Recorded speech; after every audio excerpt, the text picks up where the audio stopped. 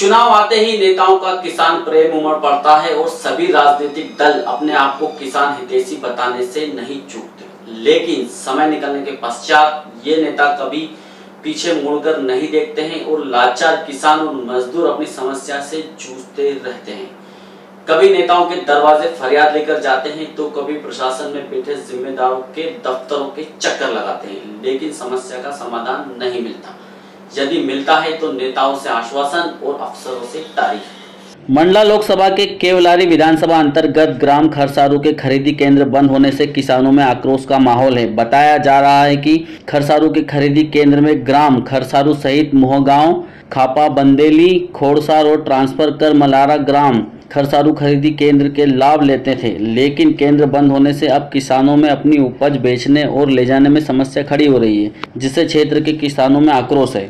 ग्राम खरसारू सहित आसपास के पाँच गाँवों ने लोकसभा चुनाव के बहिष्कार करने की घोषणा की है। ग्रामीणों ने बताया कि उनके चुनाव बहिष्कार का मुख्य कारण क्षेत्र में खरीदी केंद्र का बंद होना और बदहाल सड़कों को लेकर है। बताया जाता है कि खरसारू में गेहूँ खरीदी केंद्र को बंद कर नए नियमानुसार बगलई के चौधरी वेयर हाउस को खरीदी केंद्र बनाया गया है, जो लगभग 15 किलोमीटर दूर है, जिससे क्षेत्र के किसानों को अपनी उपज को केंद्र तक ले जाने में भारी परेशानी होती है और जिस रास्ते से वो जाते हैं, वो बेहद ही खराब है।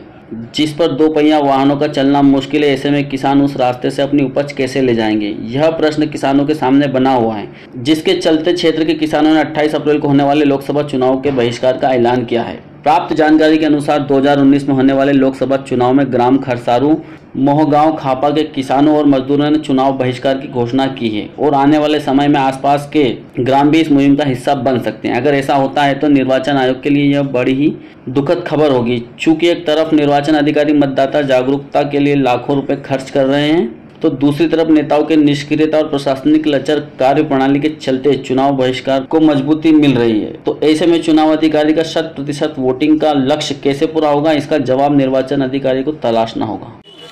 ग्राम खरसारू केंद्र में कितने ग्राम आते हैं? खरसारू खरीदी केंद्र में यहाँ पाँच गाँव आते हैं जिसमें खरसारू मोहगांव खापा घोड़सार और बंदेली। मलारा नहीं है, मलारा ट्रांसफ़र में रहते हैं। फिर भी यहाँ खरीदी की जाती है वहाँ की भी। मगर इस वर्ष जो है तो खरसारू गाँव की केंद्र खरीदी बिहार हाउस यहाँ से खरसारू से 15-16 किलोमीटर की दूरी पर है। वहाँ खरीदी की जा रही है, इसलिए हम किसानों को बहुत बड़ी परेशानी का सामना करना पड़ रहा है। कि सभी किसानों के पास एक तो साधन नहीं है ले जाने का।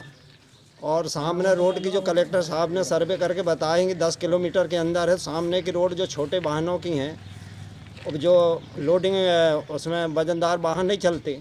हमको घूम के जाना पड़ता है डोब पे से उसका सर्वे उन्होंने नहीं किया है और इसलिए कलेक्टर साहब से बोले थे हमने तो उन्होंने यही कहा कि दस किलोमीटर के अंदर के दायरे में है, आप बिहार हाउस में लाओ।